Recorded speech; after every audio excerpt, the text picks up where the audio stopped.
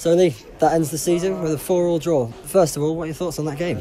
Oh, it was up and down. To be fair, I mean, you know, they made quite a few changes, but you know, we've had seven or eight in the in the treatment room, as, as we well know, and started with a lot of young lads out there today, and I thought that showed a little bit in the, first 10, 15 minutes. We started the game well.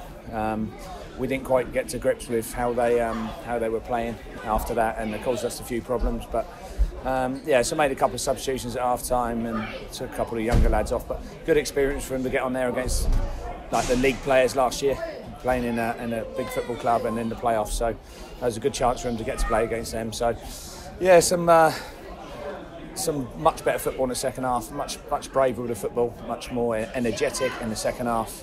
And um, yeah, it was a it was a good game for the neutral. But we were up, we were down, and we were behind and back again. And you know, the lads showed some great character today, and that's that's the sign of.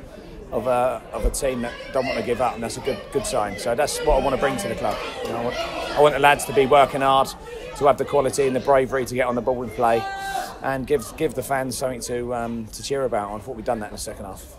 Yeah, absolutely. With obviously nothing to play for in terms of league positions, was that um, a really positive afternoon for the last game of the season? There's still some desire there, some good goals going forward, and some good games for the youngsters. Yeah, I think so. I think um, the fans were going today, and, and again would have seen like. Um, a team that were all working hard for each other, certainly in the second half, to be able to be competitive with a good with a good side.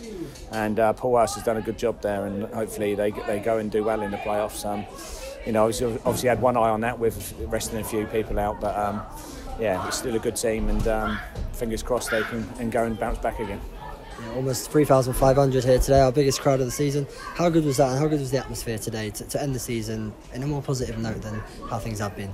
Yeah, great, and and the club's going from strength to strength, and uh, you know the fan base is going up, and we really need to encourage the, the fans to get the season tickets, get people to come along with them, and you know I can't believe the price of the season ticket until I was told at the fans forum the other day how how much they try and look after the, the fans here and um, give them a, a, a, good experience. And um, I'm trying to do my part now by trying to give them a good experience with a, with a um, bit on the grass. So um, we've got a tough summer ahead of us. Um, people are come and go, and uh, you know, but I, I'm thankful to the lads today for whether they've been here for a year or for, for ten years that they've always worked hard for this football club and put the club first, and um, that's important. And some good people. So um, I had some tough conversations over the last couple of days. So, um, but I'm doing it all in the vein of, of trying to make this club a better one for next season. Yeah. You mentioned there that the players were, were celebrated after as well with their end of season awards. It's obviously customary at the end of the year, but how good is it that they could you know, receive their accolades and receive the um, you know, the, the mention for the work they have done this year? Yeah, it's really important. I was actually very um, very pleased that we did end up getting uh, a point out of the game um, because it would have been a bit of a, a bit of a dour one if we we'd lost the game late and um, we, we didn't um, really have anything to celebrate but we, we stuck with it and got back in the game. So there was it was a better atmosphere around the ground afterwards.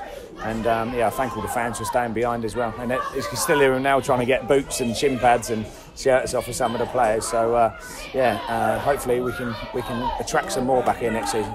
Absolutely. And then lastly, as you mentioned, big summer ahead of us. In terms of the next week or so, what's that look like for you in terms of the conversations you mentioned you have to have with players? Yeah, I've still got um, you know 12, 14 to speak to.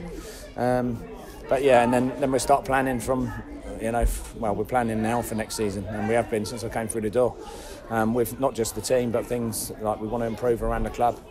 I was set the task to come in and get us safe and, and look at the team, look at the club, try and improve it whether it be behind the scenes or, and on the grass. Um, and to be fair, the club has been excellent since I've been here. I've been very impressed with uh, with the setup and, and the personnel within the club. So I'm excited. I'm looking forward to next season. Um, be able to get a team that I think can compete at the right end of the, the table, and that is something that excites me, and hopefully it will excite the fans going forward.